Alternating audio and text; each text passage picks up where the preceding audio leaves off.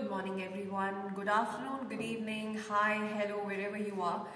I'm sure most of you are geared up for the CBSE practicals which are about to happen. Well, you must be wondering what am I doing with sodium chloride and uh, liquid detergent or washing soap which is very commonly found in our homes and what am I doing with some crushed plant material over here and uh, the idea is today we are going to perform DNA extraction or we are going to extract or isolate DNA that is deoxyribonucleic acid from any plant material available in your home, in your fridge, in your kitchen.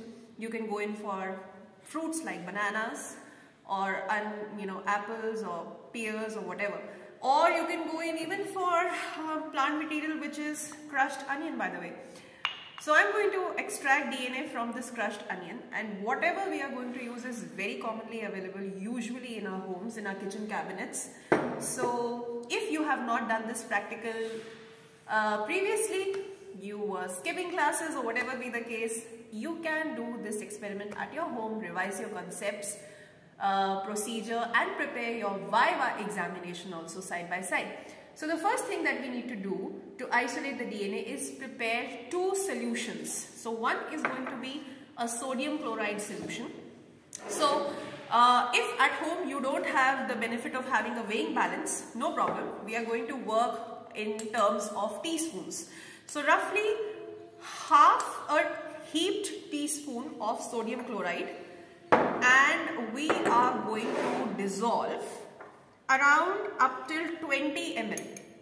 So again, maybe you can take a small glass at home if you don't have marked measuring cylinders or beakers. So remember to take half a teaspoon of salt in any glass container and add a quarter of hot water to it, right? And now what we have to do is mix it and ensure that in this boiling hot water the sodium chloride completely dissolves in. So what we can also do is give it some quick swirls, help it dissolve quickly and keep it aside. And then the second solution is going to be the solution with washing soap, liquid detergent soap. And if you look into the back, sometimes the ingredients are also mentioned. So liquid soap has some ingredients which uh, basically remove fats, right? Uh, liquid soaps or any kind of a detergent is programmed, is designed to work to remove fats and grease from dirty clothes or utensils. So the idea over here is that we are going to use 1 teaspoon of this liquid soap and again dissolve a quarter of hot water to this as well. And dissolve this mixture well. Right? So this soap will break down the phospholipids and the fats of the cell membrane and the nuclear membranes. And you know why that is needed. You need to break down the cell membrane the plasma membrane and the nuclear envelope by removing the fats or the phospholipids from there so that DNA, RNA and proteins can be released. So now that both our solutions are ready, I'm going to keep on dissolving this so that the salt, so both our solutions are ready. The salt solution almost there and the liquid detergent solution and now this was a step that we have worked out. So we have taken one small onion. You can take half a banana as well. Banana is easier to work around because it's easy to mash it with a fork. So you can use any plant material which is soft and easy to work with. I had the access to onion today so we have macerated and crushed the onion. So this crushing or fork pressing will help you break down the cell walls and we are going to take this step further. So one or two teaspoons of this plant material. Now we take a bigger beaker and we take approximately one teaspoon of one or slightly more. Yeah. One big heaped teaspoon of this crushed onion in here. And now we are going to add the liquid detergent as well as the salt mixture. And now some arm workout. So we are going to beat this mixture for approximately 5, maybe I'll use a stirrer. Yeah, this is better. So we are going to beat this mixture. You can take a bigger glass in your house and you can just beat this mixture. Or if you want to quick step, you can use a blender as well. Uh, because I can see the material is a little dense, I can add some water, hot water for dilution. So let's prepare the steps of Viva side by side. Why are we beating this mixture or applying mechanical stress? Well, because we want to break down the cell walls. So we are going to beat the mixture to break the cell walls. Why did we add the liquid detergent? Because we have to lyse and break through the cell membrane and the nuclear envelope. Why did we add the salt? Well, the salt helps solubilize your DNA.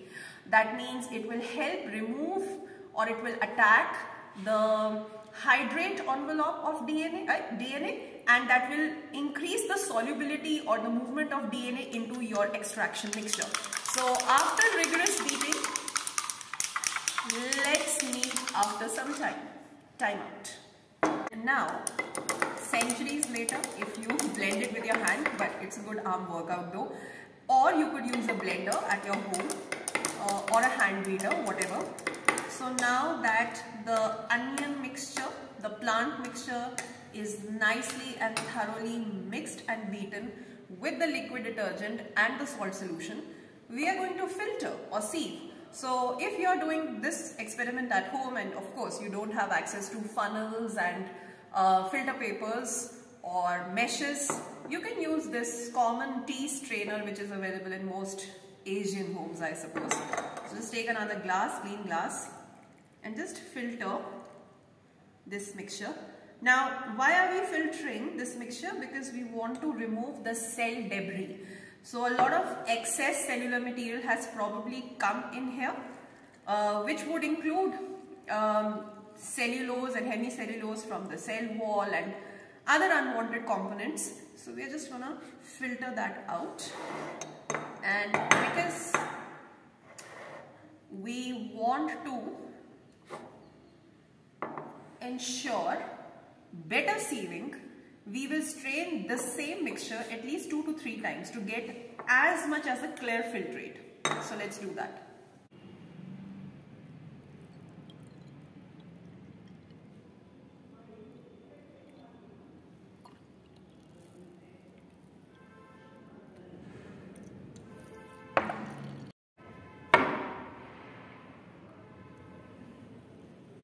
So we are going to transfer the clear filtrate in a wide mouth test tube. If you are at homes, then you can use a glass as well. And we are going to add some pre-chilled ethyl alcohol. Some pre-chilled ethyl alcohol along the walls for DNA precipitation. And just give it 5 minutes for the spool and the cloud of white DNA to make its appearance. So we are going to keep it for 5 minutes and then catch up with the results. While the results develop, uh, remember and ensure that if you do not have access to ethyl alcohol, uh, chemical and reagent grade at home, no problem. We are all having access to hand sanitizers and recreational alcohol at home. You can try this experiment from your kitchen cabinet as well.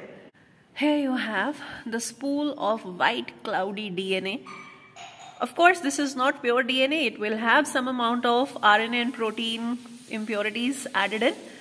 But yeah, with the household stuff, you can do a lot of science at home.